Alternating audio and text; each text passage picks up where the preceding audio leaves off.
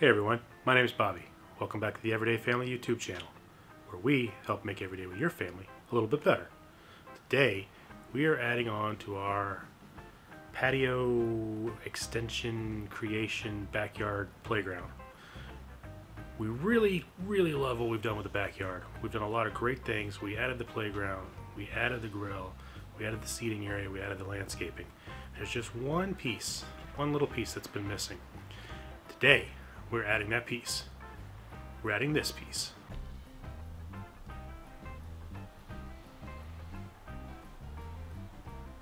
Today, we're adding on to our outdoor kitchen with something that I am very excited about, and I know a lot of people are getting into, and that is a smoker. Now, when you think of a smoker for an outdoor kitchen, probably think of something like a big green egg or a Kamado Joe. Well, those are pretty darn expensive, and they take a little bit of practice and skill and time, and well, for the everyday family, that just may not be in the cards. So, we've got an alternative.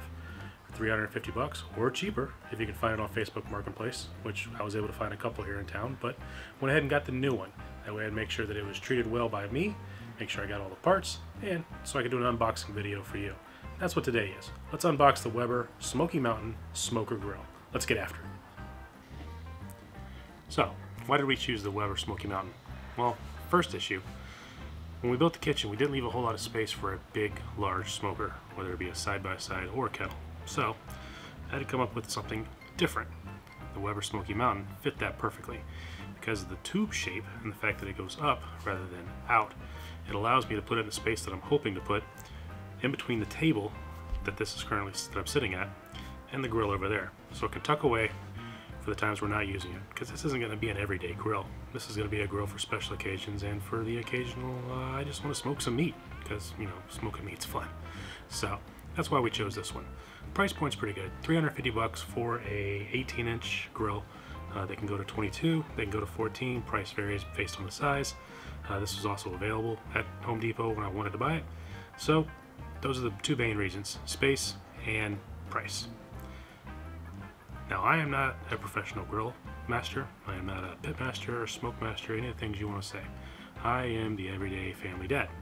So I'm going to be learning and hopefully helping you learn along the way. So let's get into the box, find out what's in there, and uh, see if we can put this thing together. I don't know. We'll find out what happens. Let's go.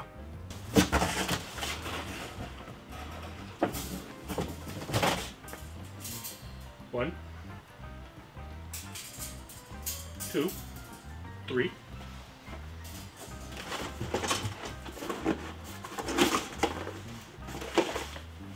Got the legs and the hardware probably should make sure we have this.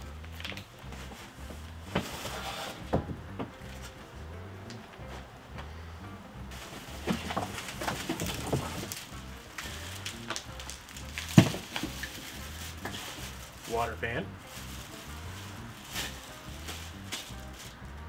Cover.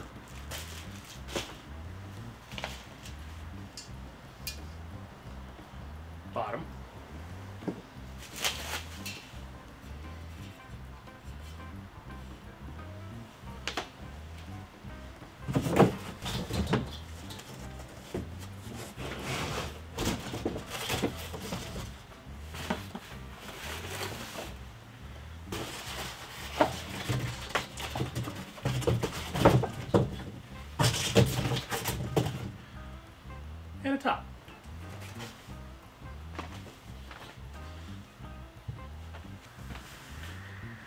Now, if you're like me, you sometimes just like to dive right into these things.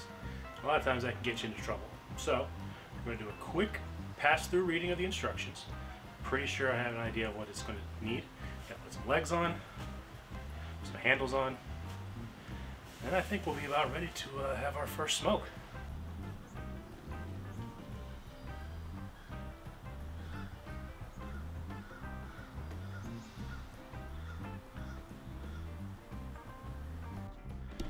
Alright, so first noob mistake. That metal pan that I thought was going to be the watering pan, turns out that is a catch pan.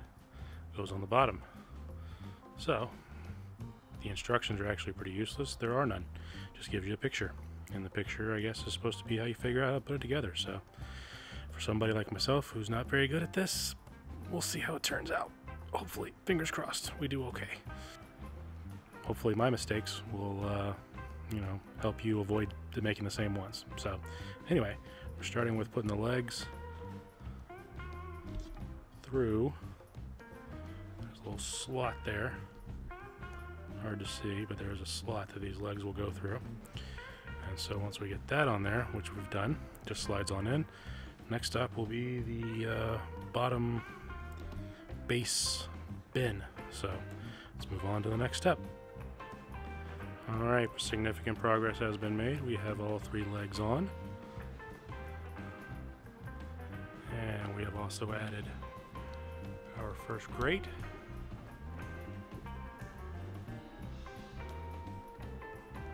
As well as our charcoal guard.